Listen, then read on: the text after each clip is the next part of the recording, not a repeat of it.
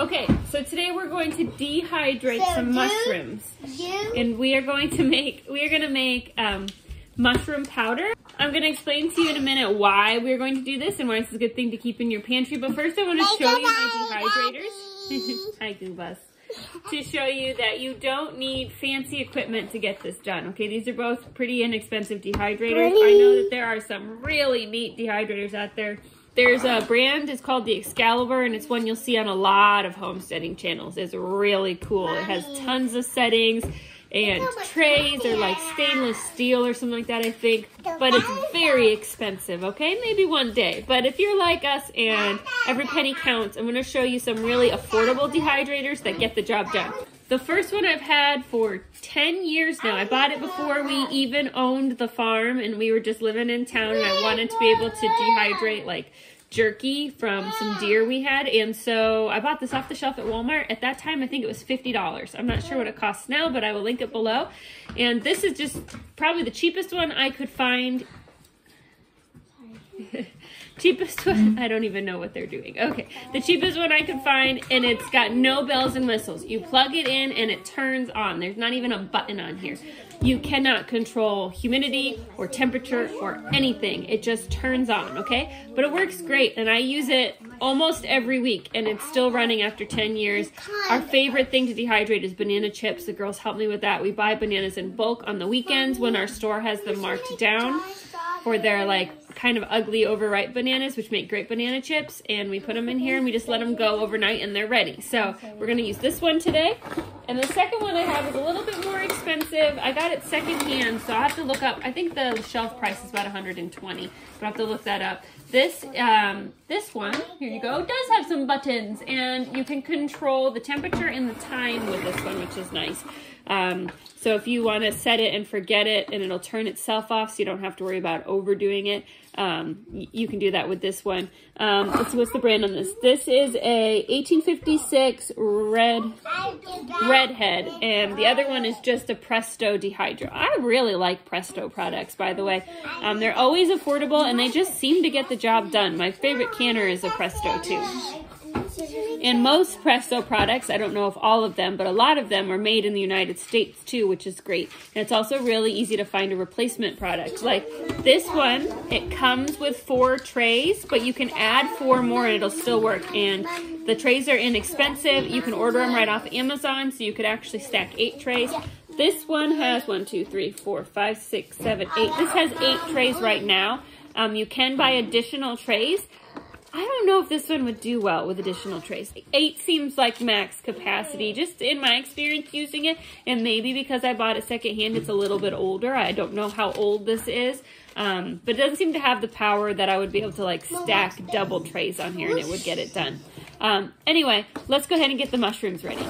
So typically it's cheaper to buy whole mushrooms, but the store had the sliced mushrooms on clearance, like a used, used today kind of thing. So I just picked up two packs. Um, I'm at no idea how much this will make, so we'll be learning together. But I do can a lot of mushrooms. I'll link that video below.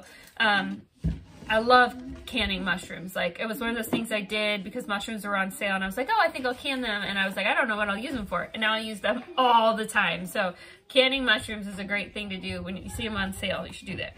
Um, but I want to try dehydrating them today. So I only bought two packs because we're going to see how this goes. But through canning mushrooms, I've learned that the best way to actually clean mushrooms soak them, which seems a little counterintuitive because we're wanting to dehydrate them. But if you just rinse them off like in a colander, it doesn't really get the dirt off of them very well. It just kind of sticks to that smushy mushroom exterior. So the best thing to do is to dump them in some cold water for five minutes and then drain it and then rinse and drain that and that gets them really clean.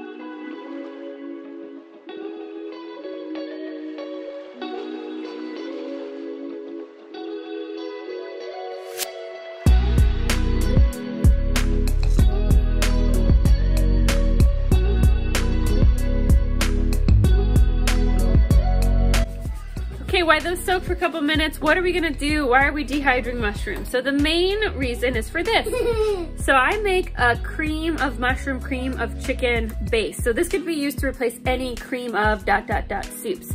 I keep it on my counter. It's a dry one. I'm gonna refill it today. If you're curious about how I make it, I'll link that video below. I use it all of the time and I love it and it's one of those replacements that actually I feel like tastes just like the original, which is great because those cream of, like Campbell's cream of mushroom soups, the little cans, they get expensive really fast. And also there's a lot of preservatives in them. So making it myself, I have a lot of control over the ingredients. Okay, you're gonna brush my hair for me? Yeah. So I make my own.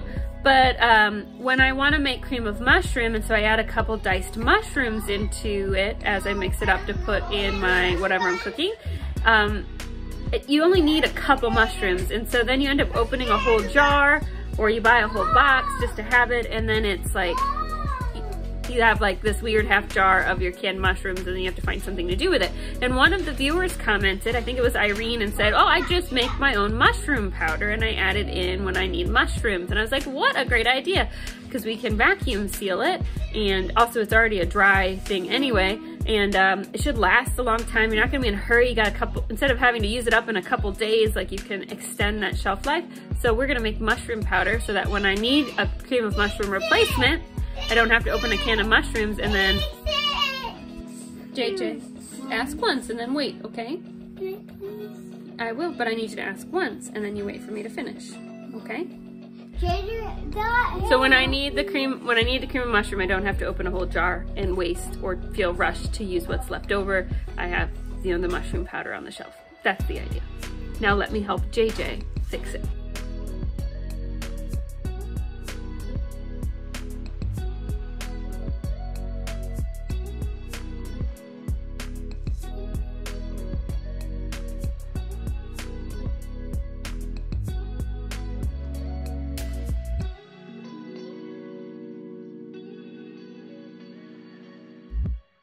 Okay, Micah here's gonna help me put these on the tray so I can help the little kids here with some stuff. Pretty basic, you just wanna make sure they're not on top of each other overlapping. She's gonna rock out to some music and get it done. Okay, I'll help you.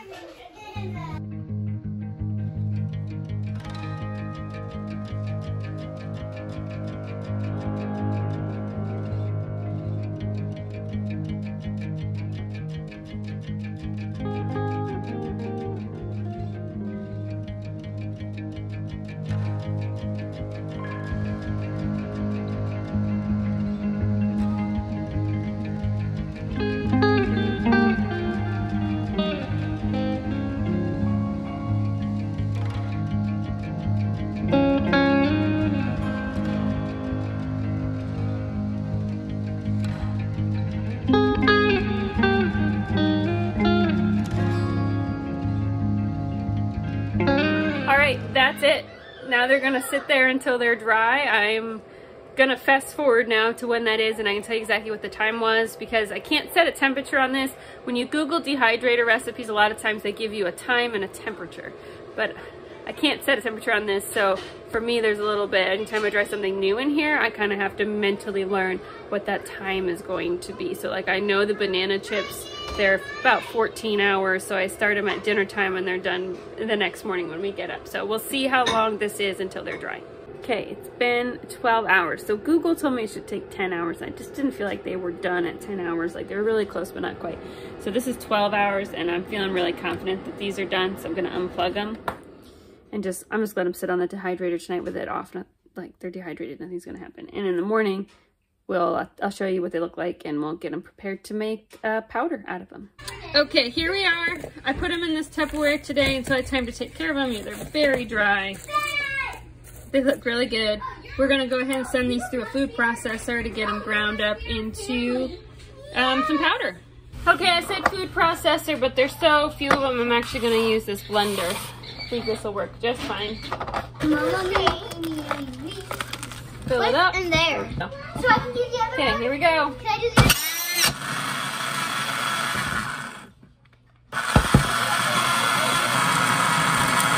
Stop, let's take a peek. All right, that looks pretty good. Let's get it into a jar. This is mushroom powder. What do you use it for? It's in my eye. All right, I think we can fit more in there. Let's do some more. Can I do it after, Mama? All right, there it is. Those two containers made almost a whole half pint of, um, of a jar. So it condenses a lot and also um, So it obviously condenses a lot, but when I use this to make like the cream of mushroom soup, I'm only gonna use a teaspoon at a time. So the only thing I'm not sure on is whether or not I should vacuum seal this. That doesn't make sense to me though, right? Because I'm gonna use it pretty soon but it might be a long time between times using it and I don't want it to clump up really good. So maybe, should I put an oxygen absorber in here? Tell me what you think. Thanks so much for watching. We'll see you guys soon.